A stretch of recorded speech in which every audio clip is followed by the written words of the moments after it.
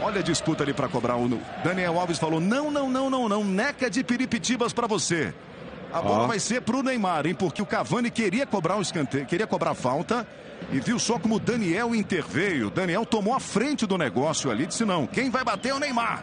E o Neymar foi para a cobrança e quase fez o gol. Primeiro sinal de desentendimento, né? Stefan Darmani, olha o lance mais uma vez aí, ó. O Neymar querendo bater o pênalti. O Cavani diz que é ele que vai bater. Claramente o Neymar sai de cara amarrada.